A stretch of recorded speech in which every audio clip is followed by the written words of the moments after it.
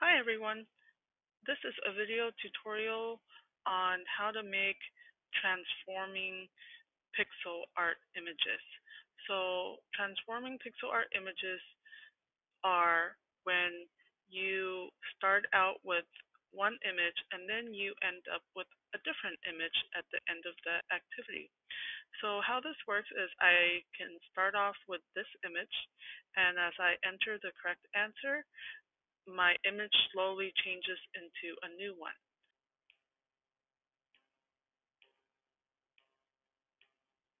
So I made this as part of my digital escape and I decided to make a separate video for those who would like to learn about how to make this type of pixel art activity. On my blank uh, spreadsheet, I'm going to reserve some cells for my pixel art. So I'm just going to start with the letter J and work my way to the back. If I need more cells later on, I can always add more later on. So I'm going to resize my cells to fit my pixels to make them square.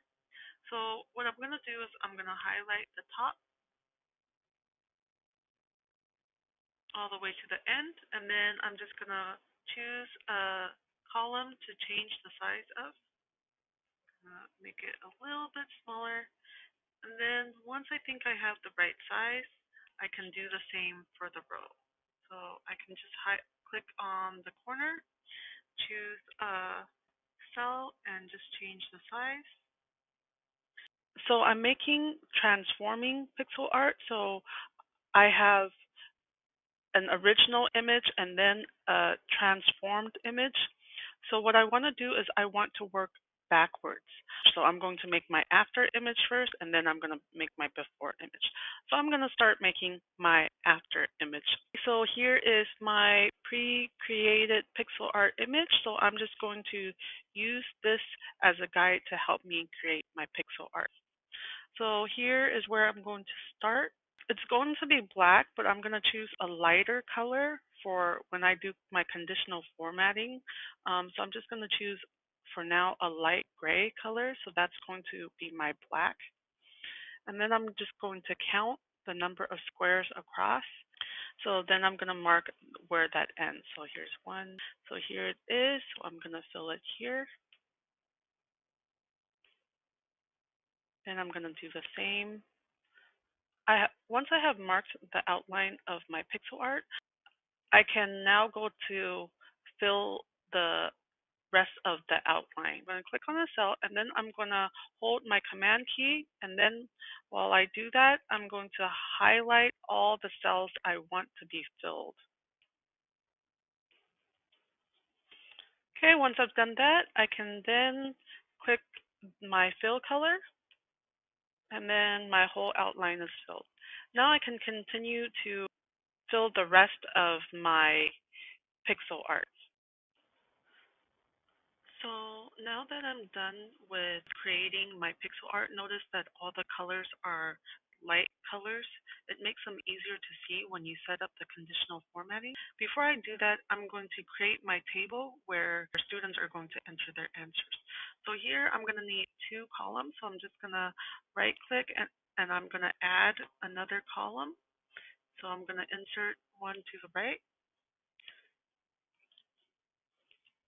Okay, I like to create the number of clues based on the number of colors I have. So it looks like I'll have five different colors, so I'm going to have five clues.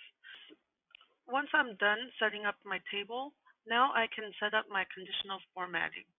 So since I don't have my activities created yet or done yet, um, I'm just going to put placeholder answers. Uh, first, I have to decide what's going to change. Since I don't want the players to know that red is going to be the imposter, that will be my last clue. What I'm going to do is I'm going to find all my cells that are going to be in red.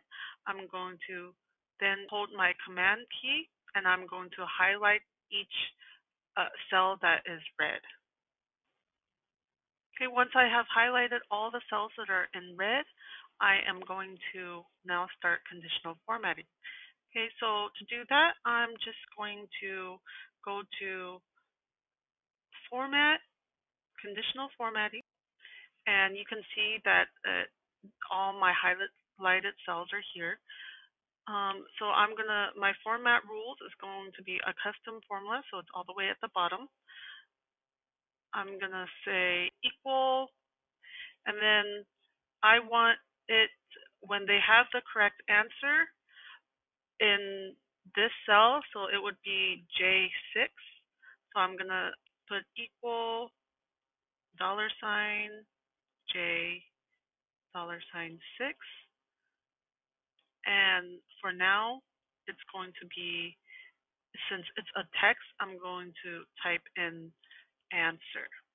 If it was a, a number, you don't need to put it in quotes. So at this point, now I can change my color to the red that I want. So the reason why I did that was, is because I can see all the cells when I highlight. So I'm going to choose this red done. So here I have uh, white and I have light blue, but I want them to change color for the same clue.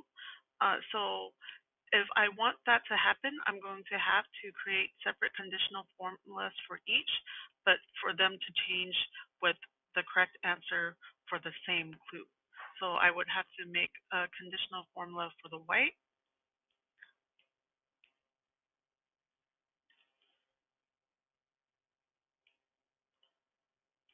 Okay, and then I'm going to have to make a separate conditional formula for the blue, but it will be the correct answer for the same clue, which is clue number two.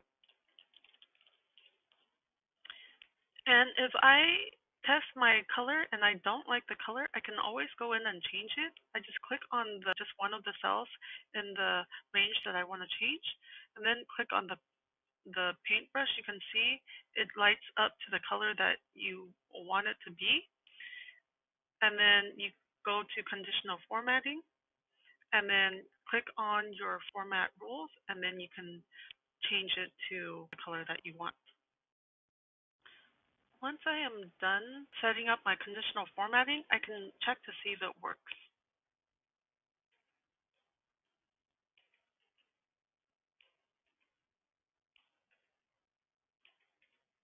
Okay, my conditional formatting works.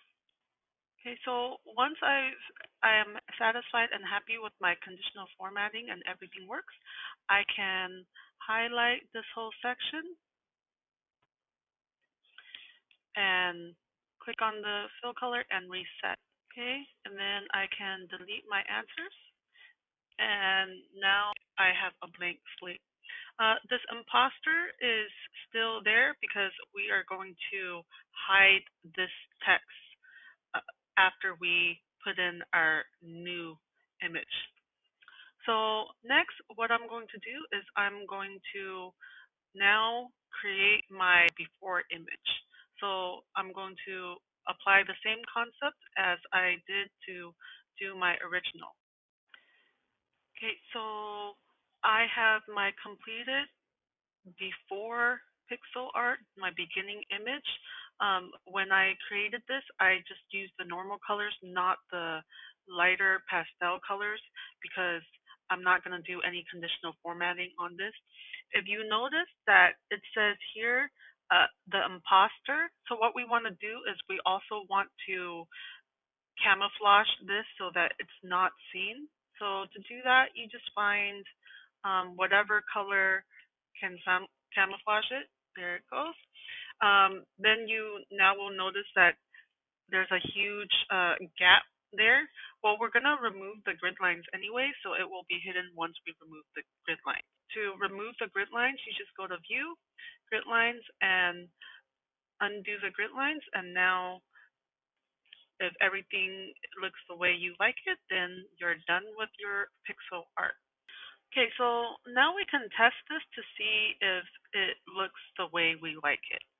Okay, so I can enter my answer.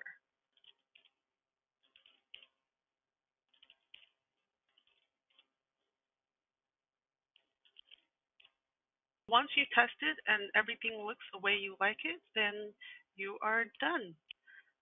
And that's it.